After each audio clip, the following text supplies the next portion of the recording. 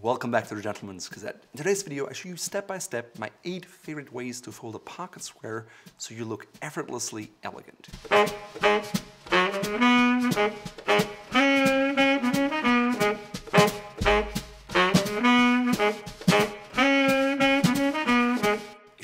For a while, you may say, wait a second, didn't you already film a video about that? Yes, it's true, but it was years ago and we've come a long way ever since. Honestly, pocket squares are one of my favorite accessories and I hardly ever leave the house without one, except maybe if I have a jacket with a big boutonniere and another pocket square would just throw everything off balance visually. While many pocket squares are just plain or have the same pattern, some other pocket squares can be folded in many different ways. I sometimes call them three in one pocket squares because you can wear it this way or that way, or just combine the look. Now, before I show you step by step how to fold the pocket squares, I want you to keep two things in mind. One is different pocket squares have different sizes. And sometimes they're too big, sometimes they're too small and they disappear in your pocket. But ideally, you want something that works perfectly for your chest pocket. Now at Fort Belvedere, we're a firm believer in producing pocket squares that make you look your best. And that means every material has a different size because no two textures, stiffnesses and weights are the same. Likewise, just with a self-tied bow tie, you never want your pocket square to look like it's folded too perfectly, too neatly, or too symmetrically. Why?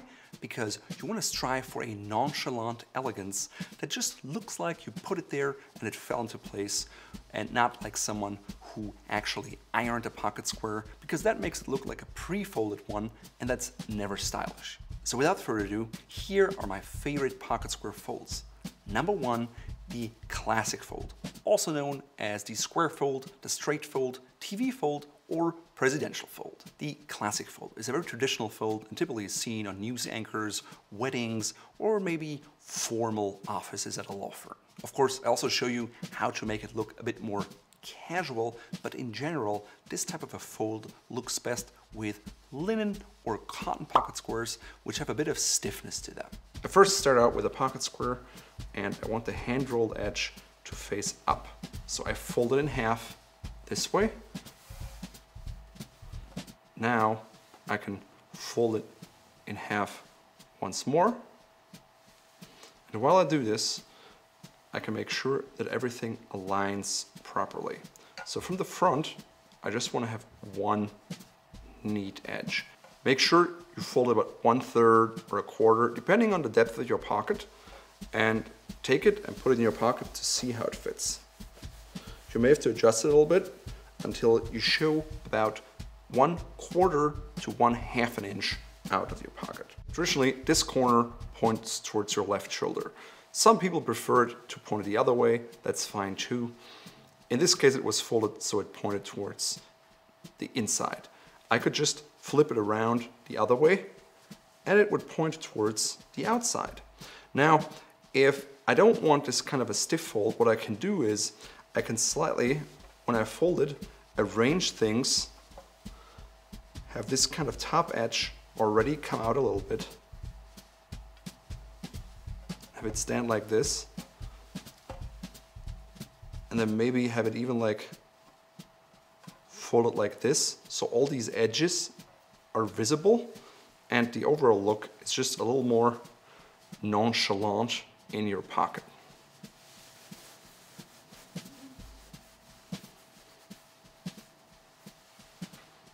If you have stronger contrast edges, you can accentuate them a little more by, again, pulling up a little bit, folding it a little more, and then just once you've tucked it in your pocket, you can also adjust it a little more later, just to get the final look that looks great for you. When you see a tag here, just make sure to fold it in so it's not visible, or in this case, I'd probably start over again and just fold a different direction.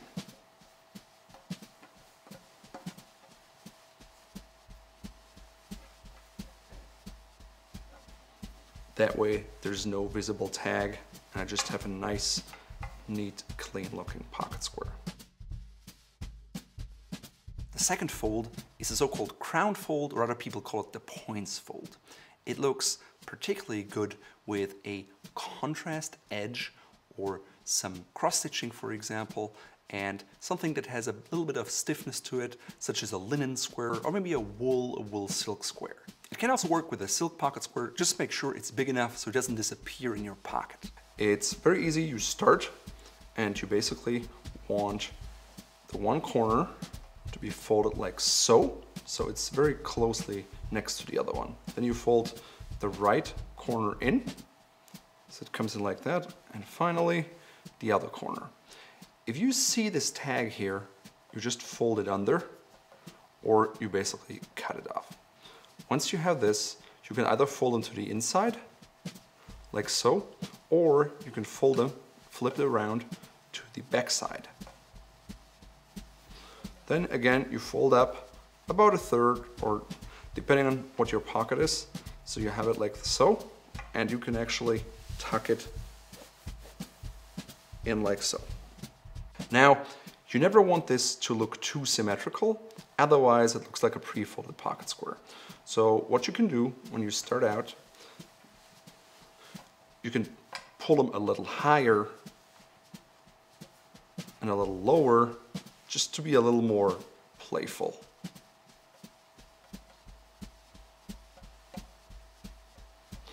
Alternatively, what you can do is you can make the fold quite a bit wider.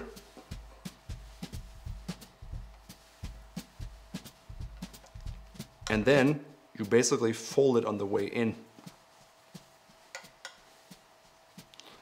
Or in the back.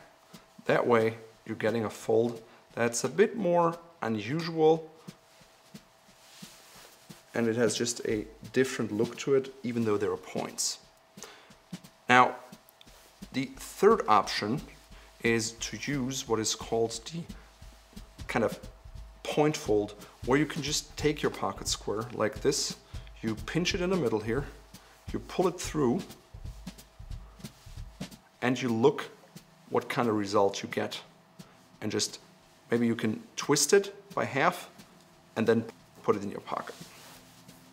The advantage of this fold is that it always looks very effortless, very easily. At the same time, it's not very consistent, and every time it's slightly different. Some people like it, others hate it. If you want more consistency, go with the crown method I showed in the beginning. If you like it more effortless and nonchalant, use this method. For a crown fold, you want to make sure that you have hand-rolled edges because they look a lot nicer than machined hemmed ones. A pocket square is a decorative piece and because of that, you always want to have the best possible edge, which is a hand-rolled edge. Here you have an X stitch. You can also have a regular edge or a shoestring contrast edge. To learn more about the differences in quality of hand-rolled edges, please check out this video here. The third fold is the puff fold or the pinch fold. These look particularly dapper in a silk or silk wool blend because the folds break the light in a very sophisticated way. Now, I've made this fold with a linen pocket square before and it works, but if it's too stiff, chances are it will pop out over the course of the day, which doesn't look stylish. It's called puff pinch because you start by pinching it in the middle. Again, you create a little hole and pull it right through nicely until you like the puff. Once you're there, you can twist either by half or full rotation and just see what it looks like and stuff it in your pocket. By creating the rotation, you keep the pocket squares and the little folds in place. That way you can see the light breaks very nicely and very elegantly. Some other people like to start it in the same way. They pinch it first, they push it through, and then they kind of push it in like so. Personally, I don't like it very much because over the course of the day, it'll just puff out and then in your pocket, it's just a big poof that's not very elegant. A third way to get a somewhat more irregular puff is to take one corner, tuck it into your pocket, then take the opposite corner, stuff it in as well, then take the others, stuff them in until you just have something in the center that you like. Again, make sure you look where the tag is so it doesn't stand out and is visible. The easiest way to do that is just to cut out the tag, but be careful not to cut into the hand-rolled edge or to damage the pocket square. A small pair of nail scissors or maybe a seam ripper are best. The fourth fold is the upside down puff fold. And it's just like the puff fold, but you point out the opposite first. I think this one works particularly well with a silk or silk wool pocket square. Linen can be a little stiff, and ideally the center of your pocket square has a different look than the edges. That way it gives you maximum versatility and flexibility in creating a look that is unique. The upside down puff fold is very similar to the points fold and a puff fold because you start out by pinching, you create a little circle, you pull things through, you twist in a half once, and you really look more at the points and the tips and you stuff it into your pocket. Now, the beauty is you can show one point or two points or three points or four points, or you can also show the medallion as well as the points. It looks particularly nice if the center is different from the edges. Now, some people like to just show three points with a center Others like to show just two, or they put it on the side. Others just like to show one, tuck them all in, and just show one point with the pocket square.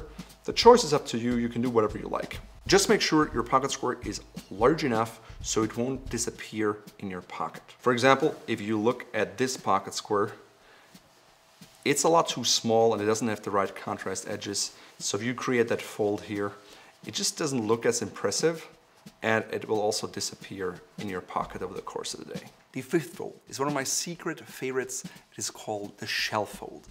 It is unusual in the sense that you don't see it a lot. It requires a bit of skill and I like it with a silk pocket square or a silk wool pocket square that is sizable, otherwise it'll just disappear in your pocket. First of all, fold the pocket square on to the side so the hand rolled edges point up and you see the back side of the pocket square. Now fold it in half diagonally so you have a big, nice triangle. Now take your left index finger, point it in the middle, and fold it again in half, making sure that you see enough of the pattern back and forth like so. Then lift your index finger on the left, put it down again, and fold it once more. You can even fold it one more if you want, but usually three times is enough. If you have this and you fold it in this way, you get a beautiful shell. Now as you can see, that can look quite symmetrical and again, this is not something you want. So you stuff it in your pocket and then you start pulling on the shells so you get a slightly different look that is askew and more elegant. You can also try to put them a little closer together and pinch them in a different way and get just a different look that incorporates this shell fold, but it's still different. When you use a silk wool pocket square like this one, the look is a little more matte. On the other hand, if you use a silk pocket square, it's a little more vibrant. So again, starting by folding it in half diagonally, and again, one, two.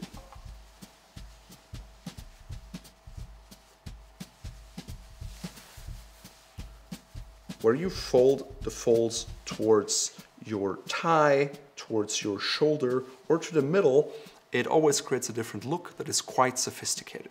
Number six is the scallop fold, which really highlights the edges of a pocket square, so it works well with contrasting edges and something that's just visually interesting. It is similar to a shell fold in the sense that it uses the curves of the pocket square. I think it looks particularly nice if you have a contrast edge or maybe a cross stitch edge. Just the contrast between the edge and the pocket square is important. So again, I flip it around so I have the back side up. I fold it in half diagonally once. I fold it in half diagonally twice. And I want to make sure that ideally the edges here, the contrast edges, are all visible and not just aligned. In the next step, I'm folding in the edges here in this one, and then this one. Folding the edges here on the side, folding it up, and putting it in a pocket. Now I can adjust the scalloped edges just so it's a little more elegant and nonchalant. You can see the contrast edges just create an interesting visual cue. If you want to, in the last step, you can also fold it slightly asymmetrically, just as to get a more unusual curve and look that's a little more elliptical and unusual. I just like it when it looks a bit different and not too studied. Fold number seven is the rose fold. It works particularly well with the pocket square is printed on something where you see the pattern in the back or maybe it's printed on both sides. You start out by actually taking the back side and you want a pocket square where the printed back shows through. Now you fold the corners to the center until you get a square. It almost looks like a little package. Now you take your three fingers and pinch down here in the middle. Take your left hand, hold it in place, and pull out your center a little bit.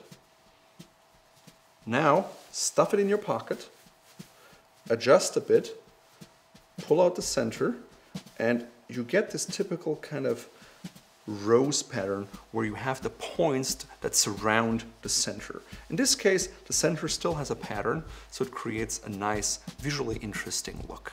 Last but not least, the Angel's Peak Fold is very similar to a crown fold, and I typically prefer the crown fold, but if you have a contrast edge, the Angel's Peak Fold puts the contrast in a different position, which can look quite elegant. Just keep in mind with the Angel's Peak Fold, adjust the tips or the points so they look more effortless and not like they just came out of a pre-folded set. You fold it diagonally like this, and you take it in half. Now you get things up like this, and like this. Or you may even like pull it out like so. You can see edge of the pocket square now shows on the side and the other edge has no visible stitching. So once you have that, you can fold the pocket square to the, to the width of your pocket square, fold it down and put it in your pocket. Again, if you want to see the difference to the pattern, look at this pocket square here versus if we fold this one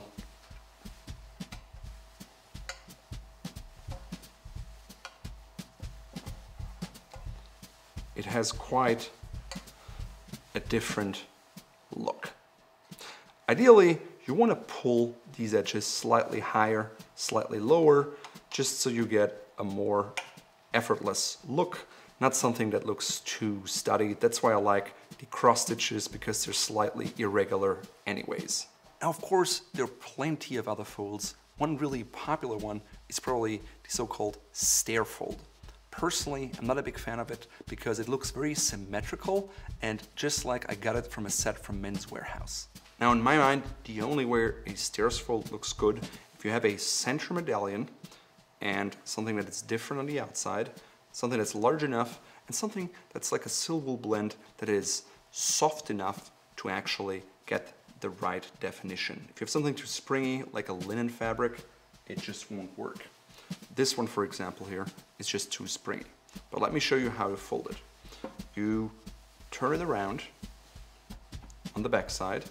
You basically fold it in half diagonally. Now, you take the tip and you go in the other direction again and you start just shy of the edge and you fold it back again. Now what you want is parallel lines on the pocket square and you can do it again go forward, make sure the fold stays, and then go backward. Now you have three, you can do it once more till four.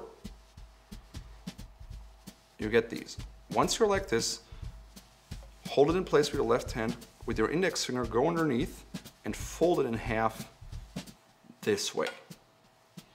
Now when you have this, you fold it under like so, to hold it in place, fold it under, and now you tuck it into your pocket. You can either tuck this way in, or you just fold it the other way around, and you tuck the other way in.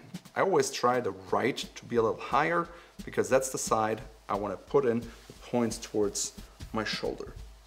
Now, When it's in right now, it looks very symmetrical and planned, and I don't like that. So I'm pulling a little bit on each fold and try to get an angle in there that makes it look a little more unique and nonchalant. I urge you to experiment a bit because with practice come better folds. Finally, all the quality pocket squares in this video are available in our shop here. I designed all of them myself to make sure they have the proper size, they have an unusual color scheme that picks up other colors in your outfit so it always looks harmonious and elegant.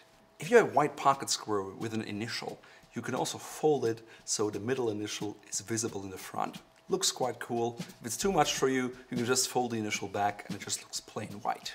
In today's video, I'm wearing a vintage Donegal tweed coat in a gray with colored flecks and I'm combining it with a Fair Isle sweater vest from Ralph Lauren. It has a v-neck so it works well with the blue and light blue mottled silk knit tie which you can find in our shop here.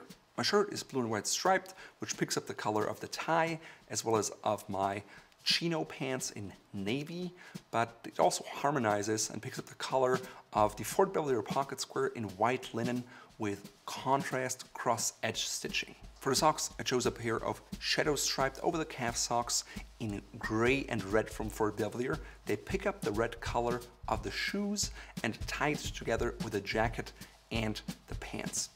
Note, we also have a navy and red pair of socks, which would have worked just as fine, but the beauty about shadow stripe socks is that they work with all kinds of colors and pants much better so than a solid pair of socks. To learn more about that, please check out our free guide on how to pair shoes with socks and pants. My cufflinks are silver platinum plated monkey fist knot links from Fort Belvedere and I'm combining them with a pinky ring which is kind of a scratched white gold with a very interesting texture and an artificial blue sapphire which picks up the blue tones of the outfit and ties it all together.